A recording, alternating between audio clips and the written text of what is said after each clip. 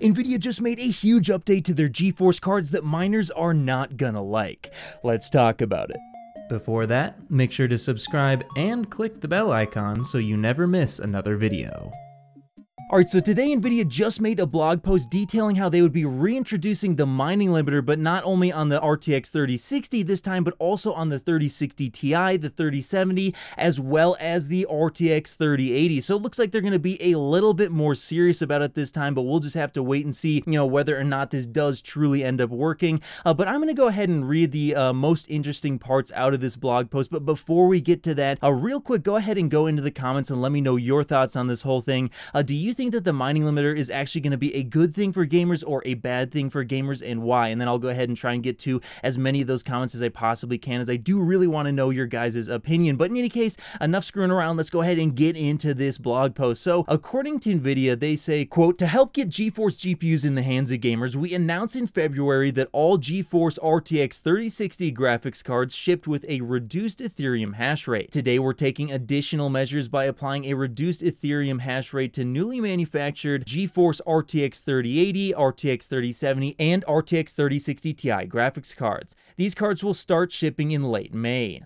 Because these GPUs originally launched with a full hash rate, we want to ensure that customers know exactly what they're getting when they buy GeForce products. To help with this, our GeForce partners are labeling the GeForce RTX 3080, RTX 3070, and RTX 3060 Ti cards with a Lite Hash Rate or LHR identifier.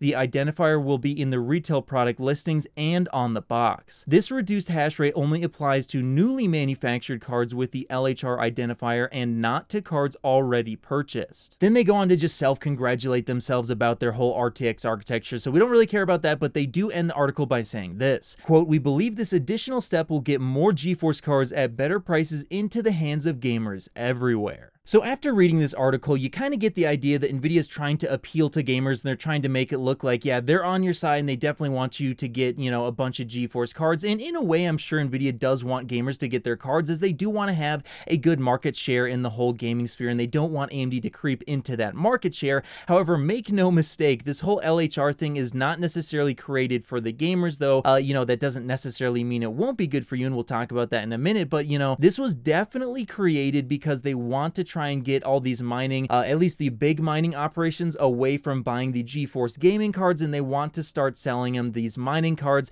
And the reason why they would probably be wanting to do that is because then they won't actually end up on the secondhand market when the RTX 40 series rolls around, or say if Ethereum ends up actually crashing, because if that does end up happening in the past, what has happened is that those cards that were all being used for mining end up on eBay, and then a lot of the people just go out on eBay and buy these secondhand cards and save a bunch of money, and then it makes it harder for NVIDIA to sell you cards. So that's definitely, at least in my opinion, the main reason as to why NVIDIA is actually going ahead and creating these LHR graphics cards. However, again, like I just said, that doesn't necessarily mean it's going to be a bad thing for you because I think there's going to be two different camps on this one. You're going to have the people who do mine on their graphics cards or they uh, maybe mine on the one GPU that they have or they're looking to buy a GPU and they want to be able to mine on it on the side. And for those people, this is definitely not going to be a good thing for you because unfortunately, this means that you're not going to be able to make any extra cash off of your video card if you were planning on doing that. So I'm sure there's going to be a lot of people who are really not going to like this. However, on the other side, you also have people who have no interest in mining whatsoever, or they maybe just don't want to do it because they think that it's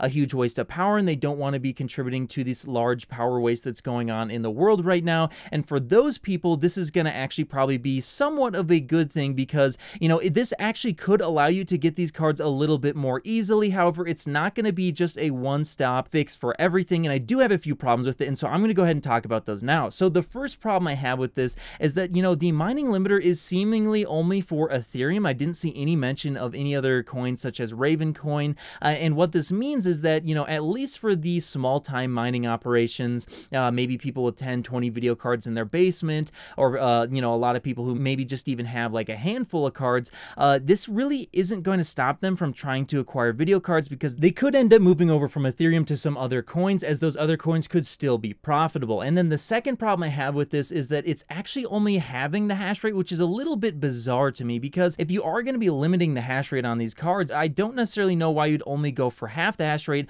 Uh, why wouldn't you just completely block it? Now, maybe there's something I'm missing here and maybe it would like affect gaming performance to actually completely block it. But, you know, again, it doesn't really make any sense to me. And then the third problem I have with all this is that, you know, NVIDIA is selling mining GPUs. So if they were so anti-mining, uh, I think they would just not be selling these mining GPUs whatsoever. But clearly, NVIDIA being a business, they do want to make money. There's money to be made in this whole mining operation. So yeah, they're going to be selling their CMP HX mining cards to these miners. So that is going to take some of the supply away from the gaming GeForce GPUs. However, I do expect that they are going to be putting a lot of their supply still into the GeForce cards as again, they don't want AMD creeping up on that market share. And then the final issue is that there's still going to be a chip shortage going around here and there's still going to be a huge amount of demand just from gamers alone. So even if all the miners stop buying GeForce GPUs, let's say it works 100%, it's unhackable, uh, and everyone doesn't want to buy them anymore, even though they can't resell the CMP HX mining cards. Let's just say that that's the case. Well, even then, uh, you're still going to be having a lot of competition trying to buy these cards just from other gamers and 3D artists, etc.,